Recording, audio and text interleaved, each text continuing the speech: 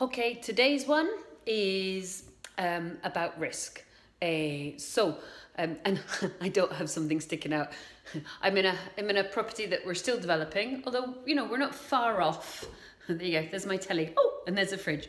So, um, so uh, I've almost got I've almost got a living room. Um, today one is about risk. Uh, I work with uh, a lot of folks in our mentoring group, and I absolutely adore it. And one of the things I'm very keen on is when I've got folks that are really quite talented developers or looking at planning gain, I'm keen on helping them think through the mitigation of their risk. I speak to a good friend of mine who tells me that 50% of developers go bust. Presumably, the other 50% of people do extremely well. So the re the reward is great, but the risk is very substantial. So if you guys are thinking, I'm going to be a developer, I'm going to do the kind of currently fashionable commercial to resi.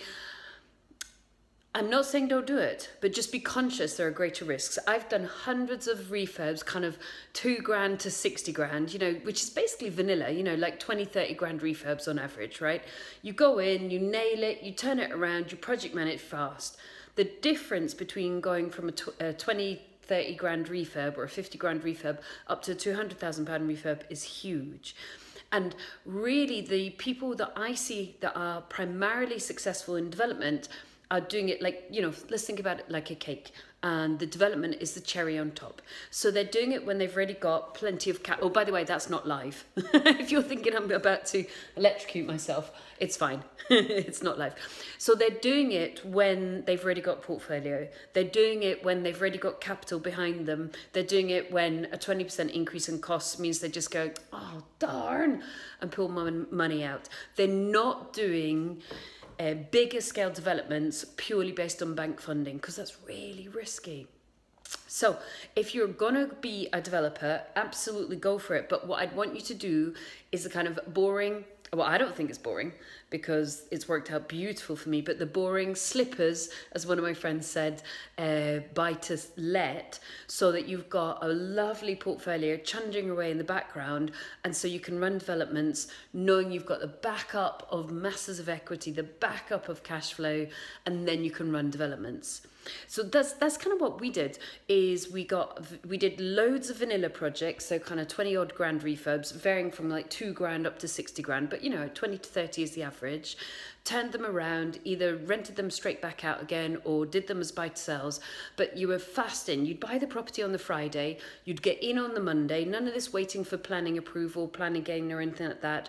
You'd spend, I don't know, eight weeks, 10 weeks, whatever it was, renovating it, and then it'd be back out again on the market, like super fast, or back out again uh, for buy to let, uh, being rented out just when the paintbrush is being finished that way we didn't when cash was so ridic ridiculously tight we didn't lose many days to a property being held up for reasons outside of my own um, management you know. I mean occasionally you have problems with builders and such like but primarily it was get in every second counts every penny counts and get it back out again either sold or developed if you're going from kind of zero to hero, zero to 100, and you're going to do development straight away, you've got all sorts of planning niggles, you've got all sorts of planning um, delays. I mean, I now am doing a grade two style at chapel, which is great, but we had a long planning delay when we had to do the pre-commencement conditions, get them signed off.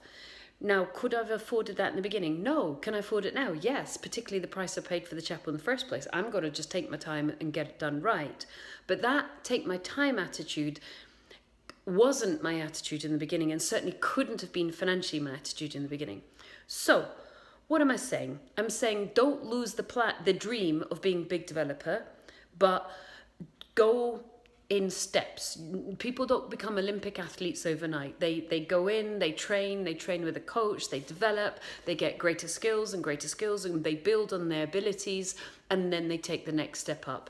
Um, and I'm not one for being cautious, but I have worked with hundreds of people, watched thousands of property people go through their journeys.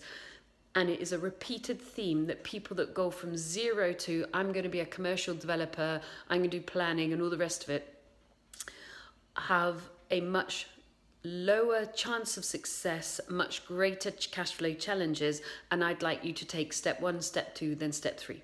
So step one, maybe you source for other people. Step two, maybe you joint venture with people. 13.3, be aware of all that stuff. Step three, maybe you buy and keep your own portfolio. Step four, maybe you buy and sell under your own steam. Step five, now you're developing serious levels of, of property. Try not to do step one straight to step five. I think you won't necessarily have all the skills, and I don't mean that rudely. It's just you know, it takes a while to learn this stuff. Uh, and I found it was a huge difference going from a, ton, a 20, 30 grand renovation to a 200 grand renovation. I made loads of mistakes in the, in, in the process. So just grow incrementally until you have a portfolio that can support everything you need and then move into the big time, if as we would call it. So commercial to resi, fabulous but potentially take your training wheels on first, your stabilizers, and then get there. I hope that's reasonable. Tell me what you think. Speak soon.